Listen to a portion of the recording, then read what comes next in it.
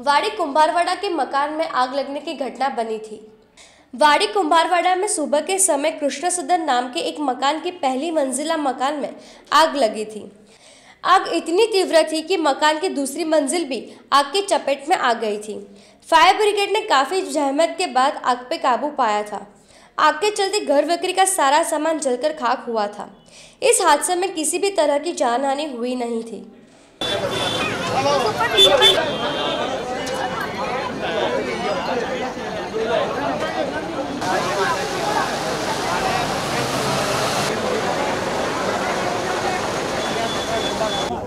વાડી કુંભારવાડા ખાતે નાની શાક માર્કેટમાં એક મકાન છે એની અંદર પહેલા માળે આગ લાગી છે એનો કોલ મળ્યો હતો આજે અત્યારે ગા- ગાજરાવાડી ફાયર સ્ટેશન અને દાંડિયા બજાર ફાયર સ્ટેશનની ત્રણ ગાડીઓ અહીં હાજર છે અને ઉપરના માળે ફર્સ્ટ ફ્લોર અને સેકન્ડ ફ્લોરમાં આગ ફેલાયેલી હતી અ, આગ અડધો કલાક લાગ્યો કાબૂ કરવામાં નીચેના માળે અને આજુબાજુના મકાનોમાં આગ ફેલાતી અટકાવી છે અને જે જે કંઈ આગળની પ્રોસિજર છે લાઇટ લાઇટની અને ગેસની એ પણ કરાવેલ છે કાપીને આ અત્યારે કંટ્રોલમાં છે.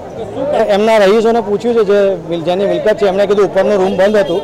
એટલે કદાચ હોઈ શકે કદાચ શોર્ટ સર્કિટના હિસાબે ઉપર ટાર્પોલિનની સીટોને એ બધું રાખેલું હતું, કદાચ એની અંદર આગ પકડાઈ ગઈ હોય. અને એના લીધે આગ ફેલાઈ ગઈ છે.